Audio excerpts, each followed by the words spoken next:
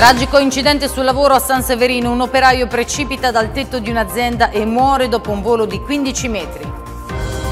Pascoli, Verga, Segre, Colombo e il Nobel Parisi, maturandi alle prese con il tema d'italiano, domani la seconda prova scritta diversa per ciascun indirizzo. Devo dire che non me le aspettavo così, cioè penso che ci siano venuti incontro, comunque sono temi che erano trattabili.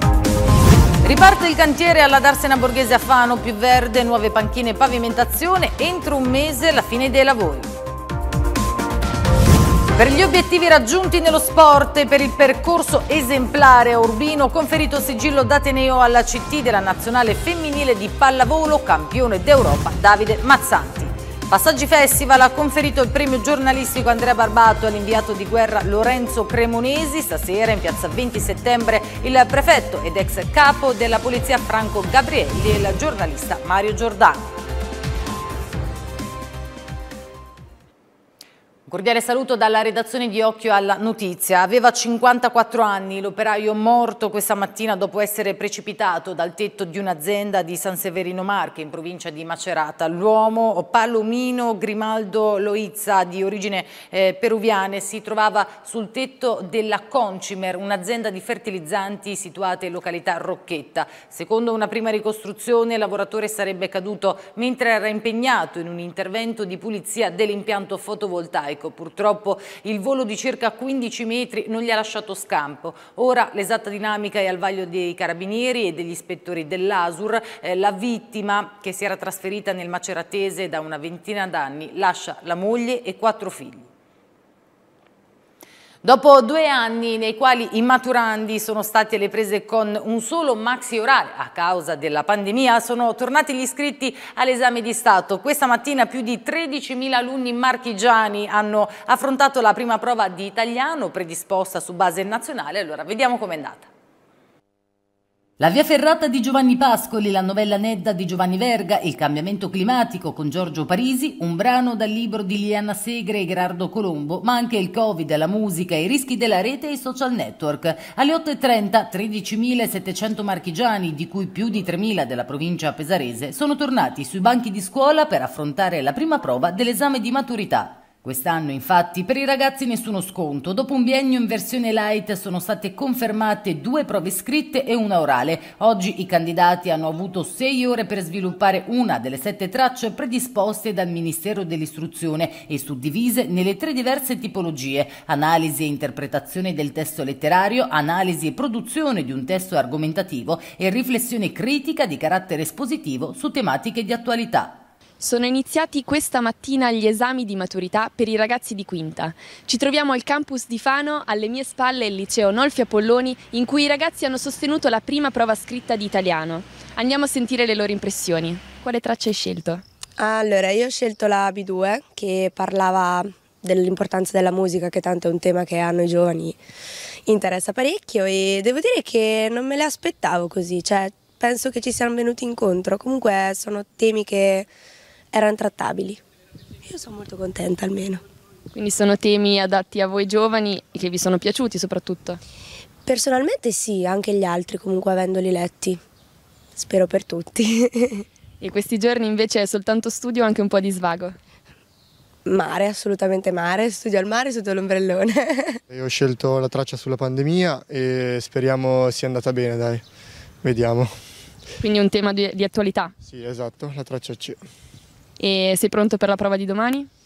Speriamo, dai, ho studiato matematica tutto l'anno, quindi ci si prova, dopo fino alla fine non si sa niente, diciamo, dai. Io ho scelto la traccia eh, B2 che era sulla musica, un testo argomentativo e puntavo tutto su questo perché matematica è molto più difficile, quindi penso sia andata bene.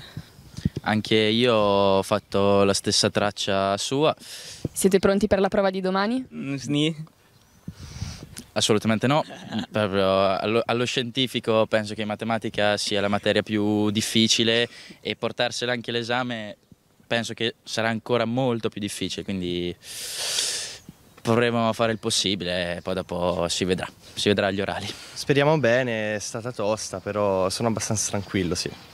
Quale traccia hai scelto? Ho scelto la traccia B eh, dove c'erano delle domande, dovevo rispondere e poi argomentare il tutto, quindi era, il mio era su Liliana Segre, quindi sono abbastanza tranquillo. Ecco. Ti sono piaciute le tracce in generale? No, tranne, tranne, la mia non, non, le ho trovate molto, diciamo così, nei miei gusti. Ecco. Che materia vi è capitata all'esame di domani? Eh, scienze umane, che è la materia di indirizzo. Sei pronto? Mm, speriamo un po' di ansia. Le tracce erano abbastanza semplici, si scriveva bene, non, non c'erano particolari problemi. Quale traccia hai scelto? La C2, quella di attualità.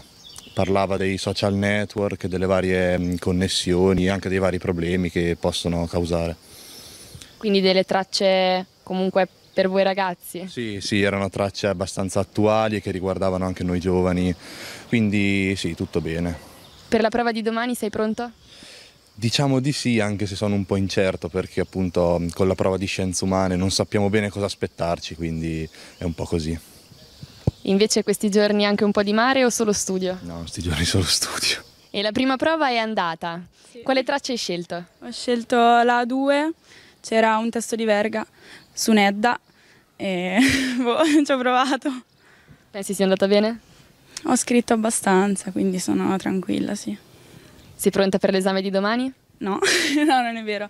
Anche per domani sono abbastanza tranquilla, mi preoccupa più l'orale. Ok, quando avrai l'orale? Il 29. Ho scelto il tema attuale, la tipologia C2. Come pensi sia andata? Oh, bene. Trattava ecco, del, di come la tecnologia abbia cambiato un po' le nostre vite, i nostri modi di fare e era incentrato sulla comunicazione di massa e tutto, tutto il resto. È stata più l'attenzione che ha dato un po' di difficoltà, ma alla fine non era niente di così complesso, mi aspettavo una cosa più difficile. Ecco. Di che indirizzo sei e quale materia avrai alla seconda prova di domani? Io sono del Seneca, quindi grafica e comunicazione il giorno dopo lo strappo del Movimento 5 Stelle con l'addio di Di Maio, la capogruppo in Consiglio regionale Marta Ruggeri ha precisato la sua posizione da ieri sera, ha detto la consigliera. Tante persone mi stanno contattando per chiedermi da che parte sto. Io sto dalla parte delle migliaia di elettori marchigiani che alle elezioni regionali del 2020 hanno votato il simbolo e la lista del Movimento 5 Stelle nella quale ero candidata. Sto dalla parte del programma, aggiunto che ho promesso di portare avanti, sto dalla parte di un ruolo istituzionale che mi impone impone la serietà di mantenere gli impegni e di non rompere il patto di fiducia e di lealtà con i cittadini. Non si abbandona la nave nel mare in tempesta, ma si dà una mano per tenere la barra dritta e magari per ritrovare la rotta. Credo che dopo la bufera, ha concluso Ruggeri, il movimento debba ripartire dai territori. Ricominciamo dal basso, ricominciamo da dove tutto ha avuto inizio. Cambiamo argomento, dopo un periodo di fermo dovuto alla morte del titolare dell'impresa che si è aggiudicata l'appalto, oggi finalmente sono ripartiti i lavori alla Darsena Borghese. Servizio di Filippo Pucci. Sembra non avere fine la vicenda della Darsena Borghese di Fano, uno dei luoghi più caratteristici della nostra città. Ma questa volta qualcosa pare andare dal verso giusto. Infatti dalla giornata di oggi la nuova ditta appaltatrice, dopo il passaggio dei documenti sulla prosecuzione dei lavori da parte della precedente, è al lavoro per concludere in tempi celeri la riqualificazione di una delle location più amate dai fanesi. Attualmente la parte della Darsena è conclusa, manca solo l'installazione di due panchine in legno e alcune rifiniture. Quello che resta da fare è la parte verso il porto, ovvero il camminamento, in futuro chiamata passeggiata romantica. L'assessore Brunori, insieme agli operai e ai responsabili della ditta, hanno eseguito un sopralluogo per dare finalmente inizio e una fine al cantiere. Sono lieta di annunciare la ripartenza dei lavori qui alla Darsena, ci siamo presi un impegno e l'impegno verrà rispettato, con un po' di ritardo, un ritardo che non è dovuto agli amministratori, alla nostra lentezza, ma a tutti quegli atti burocratici che sono oh, naturalmente dovuti eh, dopo il decesso che è avvenuto da parte del titolare della vecchia impresa.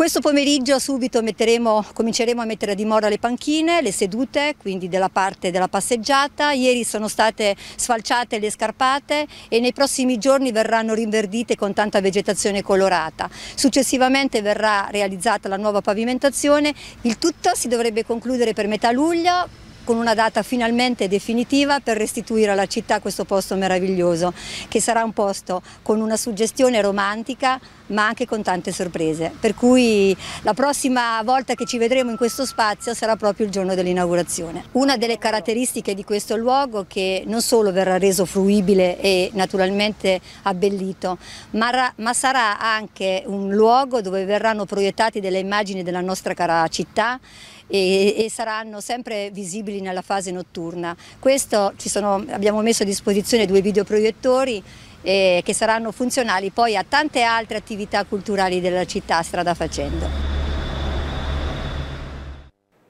Diamo spazio alle vostre segnalazioni e partiamo dalle foto che un nostro reporter di strada ha scattato in via Rizzoli e in via Padalino a Gimarra di Fano. Guardate lo scempio, c'è scritto non potevano asfaltare tutte le strade per bene? Invece da Sassonia di Fano ci sono arrivati due scatti per mostrare sia la situazione del verde adiacente alla passeggiata dell'Isippo, sia la vegetazione che circonda l'ex Manfrini che copre la visuale di ciclisti e pedoni, creando una situazione di disagio e di pericolo, visto che eh, anche i pali dell'illuminazione sono coperti. Ed ora passiamo al video girato in via Fa di Bruno a Ponte Sasso di Fano per denunciare la scarsa manutenzione delle strade del verde pubblico. È inconcepibile la differenza con le altre parti della città di Fano, ci ha scritto nel messaggio la segnalatrice. Anche noi paghiamo le tasse e più volte abbiamo chiamato l'ufficio preposto. Sono stanca di vedere questa situazione. Guardate.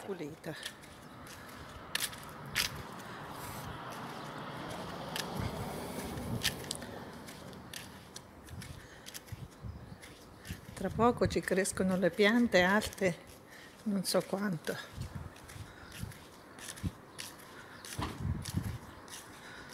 Vorrei sapere se una volta all'anno, ma non a agosto o a settembre, almeno a giugno, potesse essere pulita. Ci spostiamo ora a Urbino, dove questa mattina il rettore dell'Università Carlo Bo ha conferito il sigillo d'Ateneo all'allenatore della nazionale femminile italiana di pallavolo Davide Mazzanti.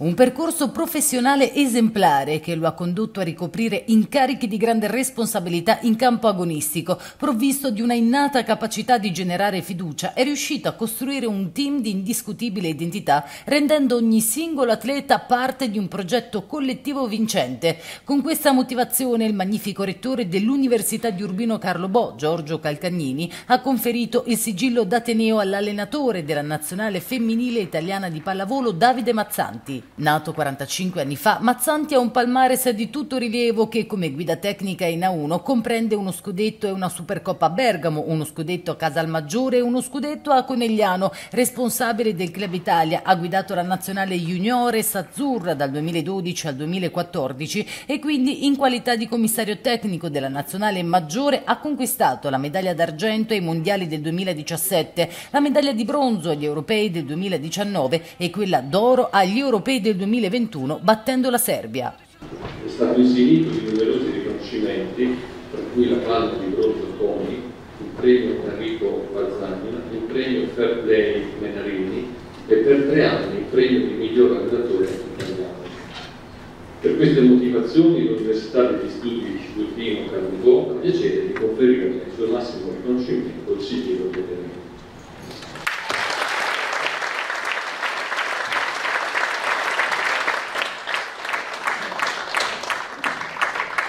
Conosciamo appunto il raggiungimento di obiettivi molto importanti nello sport.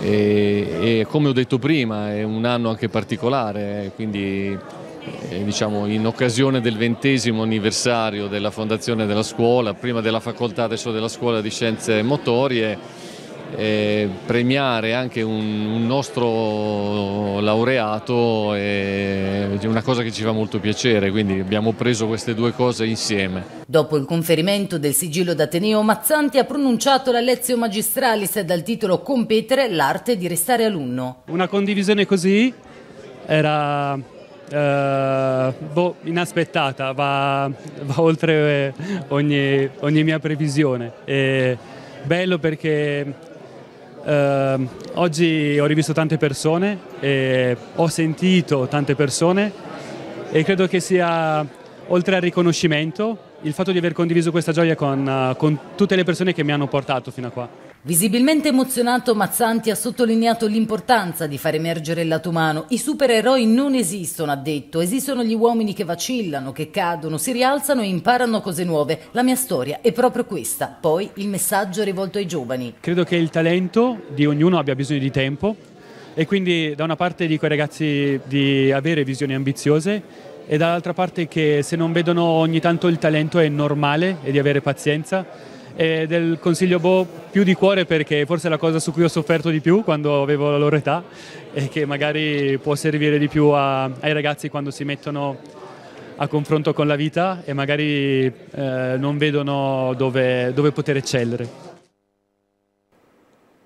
Dal sigillo di Ateneo al premio giornalistico Andrea Barbato che ieri sera durante il Festival Passaggio è stato conferito all'inviato di guerra Lorenzo Cremonesi.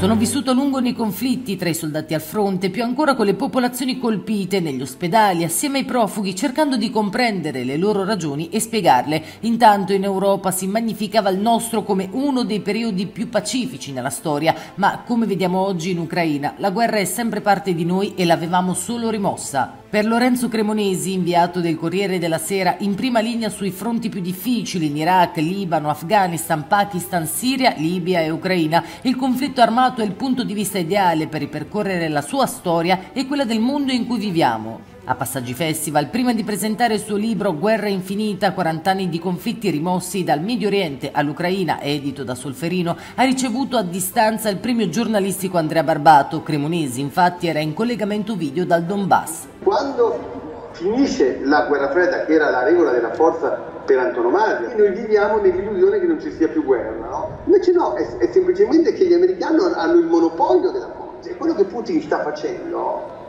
alle nostre porte, sta riportando questo, questo principio, quindi sono più forte e ti domino, al suo elemento più elementare. Il premio Barbato a Lorenzo Cremonesi è qualcosa che riempie di gioia noi come comitato scientifico, intanto perché, eh, e me come giornalista poi, intanto perché è un inviato di guerra, raccontare ciò che sta accadendo nel Donbass, eh, in questa strana guerra che torna al Novecento, è un elemento importante per tutti i cittadini sapere quello che accade.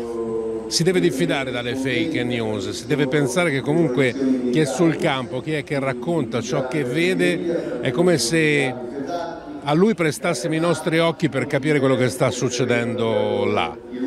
Per questo è un premio che forse più di tanti altri, definiamolo in questo modo, quest'anno non poteva che non arrivare ad uno degli inviati di guerra che sta raccontando quello che sta accadendo nel mondo. A conferire il premio l'assessore al turismo Etienne Lucarelli e Ivana Monti Barbato, moglie del giornalista scomparso prematuramente 26 anni fa. Andrea Barbato, giornalista della carta stampata e della televisione, con i suoi scritti e con la sua presenza televisiva ha sempre sollecitato la riflessione dei cittadini e ha sempre creduto nell'intelligenza dei cittadini, sia per la comprensione che per la volontà di cambiare le cose sempre in meglio. È stato davvero un grande giornalista engagé, come si dice in francese, impegnato per il miglioramento delle cose e per un mondo migliore. Altri riconoscimenti verranno conferiti nei prossimi giorni. Venerdì Dacia Maraini riceverà il premio Passaggi, Carlotta Vagnoli il premio Fuori Passaggi sabato sera, mentre il premio speciale della decima edizione andrà a Francesco Guccini domenica 26. Intanto Passaggi Festival, dopo l'appuntamento delle 19.30 con Roberto Saviano, proseguirà questa sera dalle ore 21 con tanti altri ospiti. La scrittrice Maura Gancitano sarà al Pincio di Fano, mentre la piazza ospiterà il prefetto ed ex capo della polizia Franco Franco Gabrielli e il giornalista e conduttore televisivo Mario Giordano. La partecipazione veramente eccezionale del pubblico che arriva a passaggi, ma perché questi racconti di attualità, di storia, di eh, grande cultura della nostra Italia ci fanno crescere tutti. D'altronde da parte di Passaggi Cultura, che ringrazio fin d'ora, eh, c'è stata in questi dieci anni veramente una grande intelligenza, quella di partire dalle sedi principali di Piazza 20 Settembre con i grandi autori e del Pincio eh, con fuori passaggi, per oggi innovare anche con altre rassegne che guardano all'innovazione, che guardano al digitale, che guardano ad altre rappresentazioni. Quindi veramente una crescita importante, noi ovviamente non solo siamo vicini a passaggi dal punto di vista organizzativo, ma ormai eh, tutte le istituzioni come il Teatro della Fortuna, come la Memo Montanari, eh, diciamo tutte le attività economiche cercano di rappresentare al meglio questo momento. Ecco, questo succede solo quando tutto si radica nella città e la manifestazione stessa diventa la città in questa settimana.